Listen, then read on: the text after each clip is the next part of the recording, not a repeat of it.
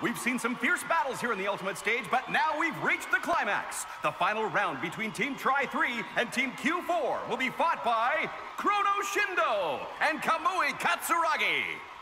Go, Go for it, You Chrono! can do it, Chrono! Why did you let us down out there? Rumor has it that Kamui Katsuragi was the one who first introduced Chrono Shindo to Vanguard. Looks like this battle will be a fight between an apprentice and his mentor. On which one will victory smile tonight?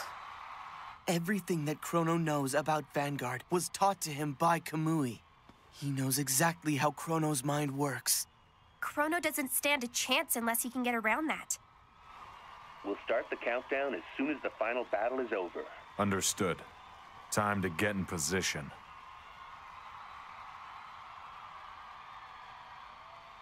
Huh? Hmm. Kamui. Don't hold back. You know how strong I am. The moment it looks like your heart isn't in it, I'm gonna pounce and punish you for it!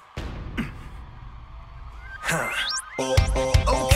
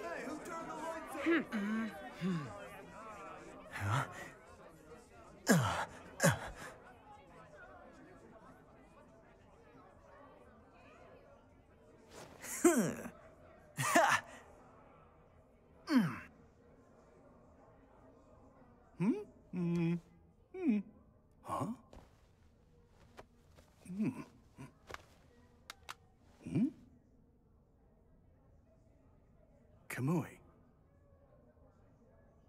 Uh. Isn't that. Whoa. Huh? Uh. Uh. It seems we've encountered some technical difficulties. Ladies and gentlemen, we apologize. I think we're ready to start again. And here are the results of Kamui Katsuragi's damage check. Clay doll mechanic. No trigger. As a result, Kamui Katsuragi has six damage. We have a winner. Chrono Shindo! And the Generation Quest exhibition match ultimate stage goes to the team that dominated fierce battles to make their way to the